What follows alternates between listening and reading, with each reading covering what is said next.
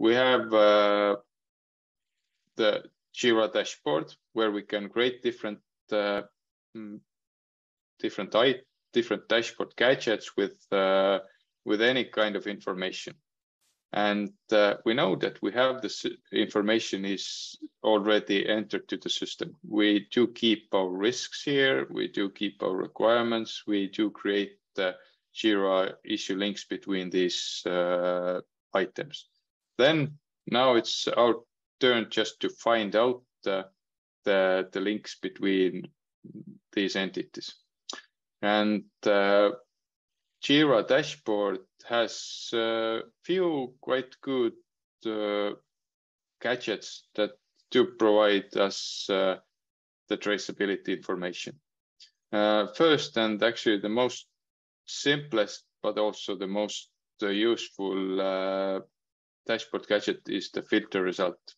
In Jira, the saved search query is called filter. So because you have actually uh, fixed amount of issues in Jira, and if you start searching like like give me all the first release issues, then it filters uh, the the issues based on this characteristic. So that's why why you have the filters uh, menu, for example, in uh, in the global uh, global menu bar. And any any place where it asks you some filter as input, then you know that you probably need to just open this uh, search, maybe go to advanced issue search and start writing whatever you need to find. And uh, we know we, we actually do want to get the, let's say, risk requirement uh, trace, traceability.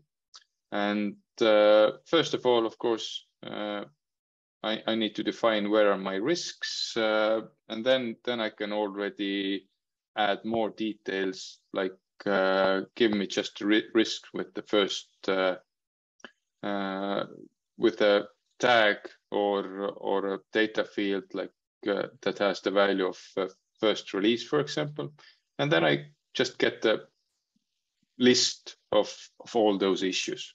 And all these issues already contain the different links. And, and as you can see on the top uh, right corner, or actually on, on the right side of the, of the browser, we have all the risks uh, from this project, and then we have also configured the links column here. And uh, we do have displayed also the uh, risk values, severities values as, as well. So, so it's a it's the result of a, Uh, search query.